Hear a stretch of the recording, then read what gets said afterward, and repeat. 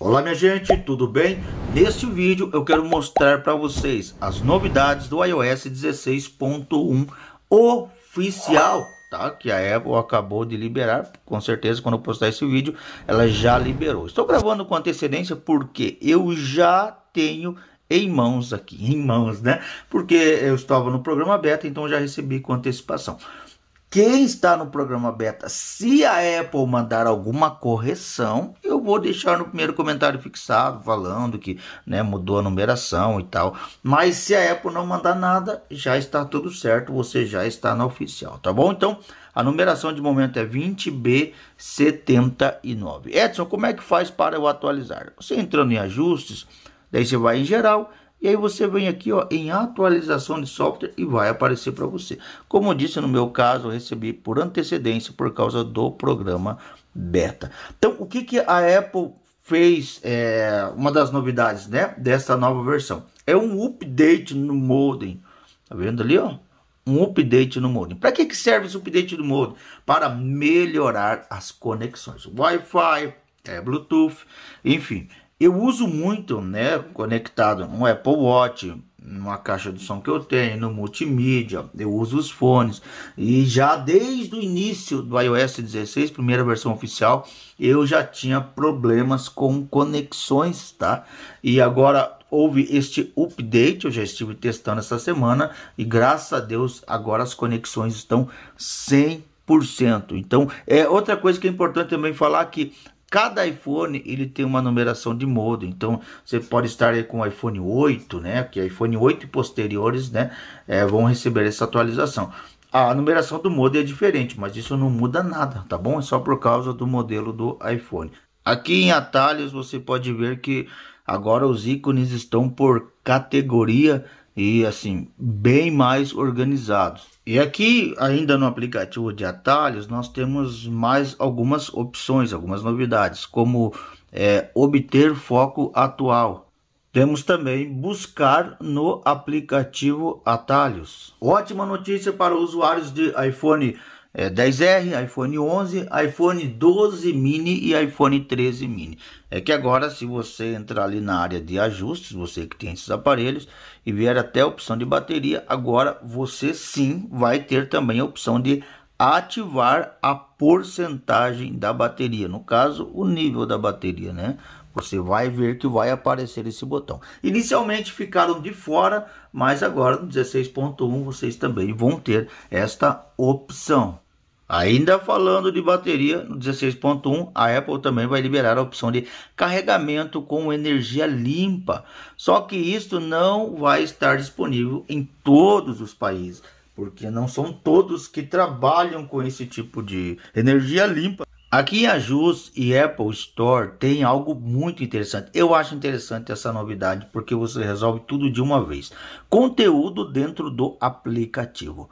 Execute aplicativos automaticamente em segundo plano para baixar esses conteúdos antes de você abri-los pela primeira vez. Sabe quando você baixa um aplicativo, principalmente quem baixa jogo, aí você entra lá, de repente aparece mais um conteúdo extra e você tem que esperar o download de todo aquele conteúdo extra para aí sim você começar a sua jogatina ou usar o aplicativo.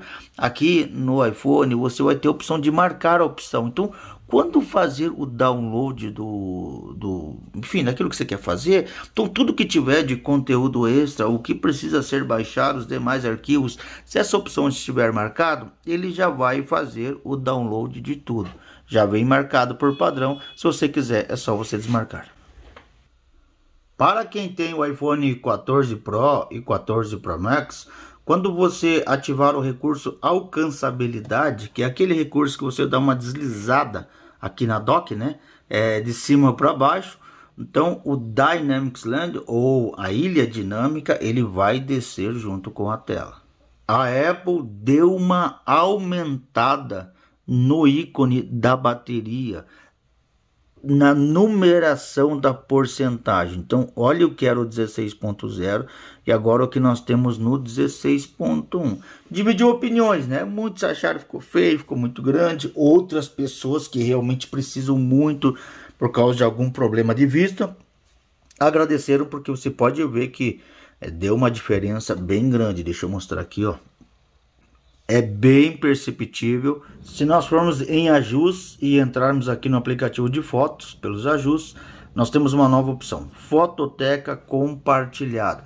Compartilhe fotos e vídeos dos momentos juntos da sua família e amigos próximos em apenas uma fototeca. Você é, já está bem explicado, né? Você vai criar um álbum de fotos, tá? E ali você vai colocar as fotos que você quer, fotos de família e etc. E aí você consegue compartilhar estas fotos com outros usuários do, do iPhone, tá? Ó, fototeca compartilhada do iCloud. Crie uma fototeca, você vai criar compartilhada para combinar fotos e vídeos com as pessoas mais importantes para você, tá bom? Só é possível ter uma fototeca compartilhada e quem criá-la fornecerá o armazenamento no iCloud para itens, para todos os itens. Então, você vai criar, você só vai poder ter uma, tá? Ó, já está bem claro, é só uma fototeca é, compartilhada e assim compartilhar as suas fotos com seus amigos. Lembrando também que o iPad OS, chegou a ter notificação ali, eu esqueci de avisar, que o iPad OS também está disponível. Agora, até quem não tem Apple Watch, você não tem Apple Watch, você tem a opção de assinar tá, o Fitness Mais. Vamos dar um exemplo assim, bem simples de entender. O Fitness mais o Apple Fitness é como se fosse uma, é como se fosse não, na verdade é uma academia virtual. Você se inscreve e aí tem os professores lá para te ensinar. Estava disponível somente para quem tinha o Apple Watch e agora está liberado para todo o público. Você entrar aqui no Game Center, agora tem uma nova opção. Permitir que amigos encontrem você Tá? Se você deixar marcar essa opção, ajude seus amigos e amigas do Game Center a encontrar você com mais facilidade com base no nome que usam para você no aplicativo Contatos. Então, se você entrar ali no aplicativo Contatos, né?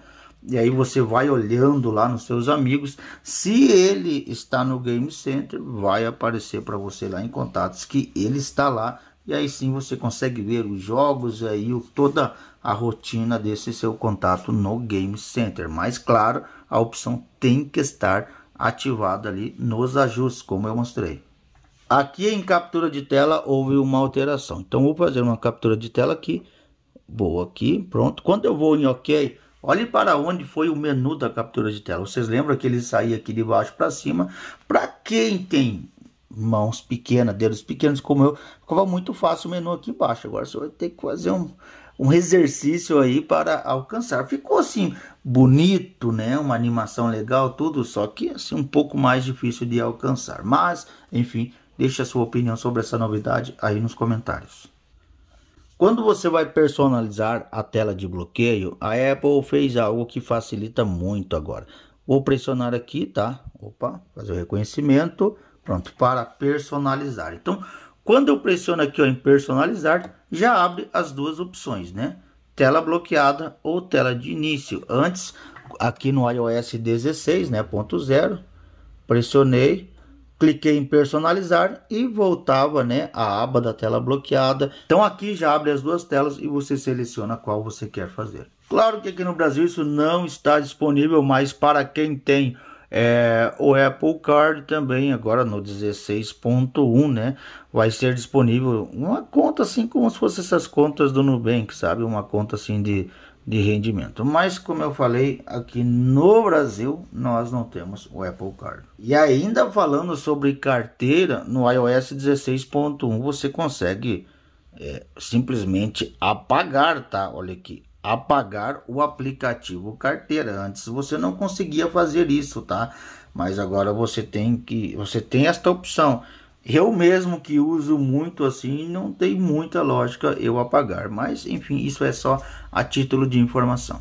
Ainda falando sobre o aplicativo carteira, agora é possível você compartilhar também chave de hotel pelo WhatsApp, pelo iMessage, enfim, o leque de opções aí de compartilhamento de chaves continua aumentando.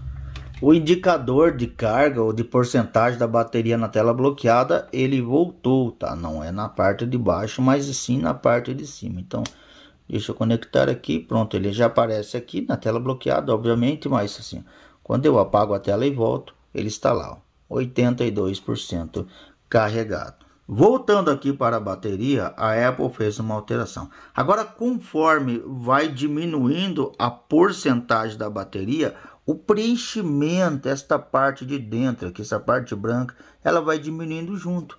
Antes isso não acontecia. Você pode ver aqui, ó. Deixa eu colocar esse bichinho aqui. Aqui no 14 Pro, você pode ver que ó, está em 60%, 67% e está toda preenchida. Agora, como eu mostrei, ele vai diminuindo junto, né? Conforme a porcentagem vai diminuindo, aqui vai reduzindo também. A Apple também liberou um recurso que ela comentou muito sobre ele no evento, né?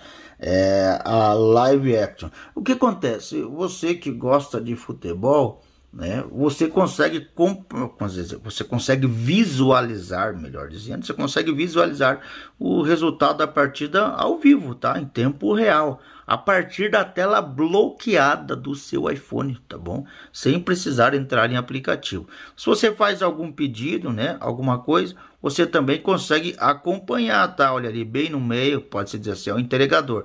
Você consegue é, acompanhar em tempo real o, o, o processo, tá? A, a, caminhada, em que estágio está a entrega. Deixa eu mostrar para vocês esse outro print aqui mais atualizado. Então, você não precisa entrar no aplicativo. Tá? A partir da tela bloqueada, você consegue acompanhar tudo. Você entrar no aplicativo do tempo, tá? Você vai ver que esta opção de precipitação, ela aumentou bastante de tamanho, tá bom? É, não é só por causa que aqui é 6.1 e 6.7 polegadas você vai ver que de fato realmente aumentou muito. Se você entrar aqui ó, em ajustes e imagem de fundo, olha como é que a Apple alterou bastante isso. Olha como é que era antes e olha como é que é agora. Então, é, você vai deslizando aqui, ó, opção de criar uma nova tela. E aqui vai mostrando as telas que você já tem configurado. E aí você já pode pressionar aqui em cima, por exemplo, olha, e definir como atual já alterou. Então, isso aqui facilita demais. Aqui na opção de editar, aqui na tela bloqueada, você vai ver que houve uma alteração no ícone do calendário. Olhe como, nós, como é agora e olhe como era antes. Se nós entrarmos aqui em foco, tá? E adicionar um novo foco, você vai ver, por exemplo, aqui ó, em exercício. Olha como é que mudou a interface atual, né? Olha como era antes e como é agora, tá bom? Não só exercício também, você pode pegar aqui leitura, tá? Então houve uma alteração aí na, na interface. E também a Apple trouxe inúmeras correções, tá bom?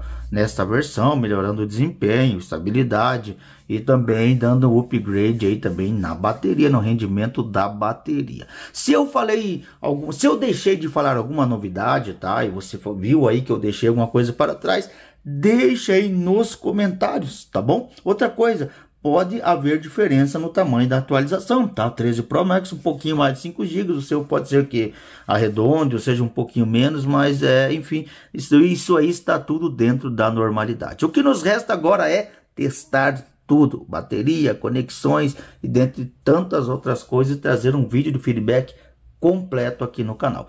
Como eu disse, também vou instalar aqui no iPhone 14 Pro e vou fazer um vídeo de análise, um review iPhone 14 Pro com o 16.1.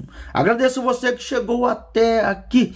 Se inscreve no canal se não é inscrito, tá? Deixe seu like para fortalecer aí e nunca se esqueça que se hoje não foi bom, amanhã vai ser muito melhor. Deus abençoe a todos. Fiquem com Deus.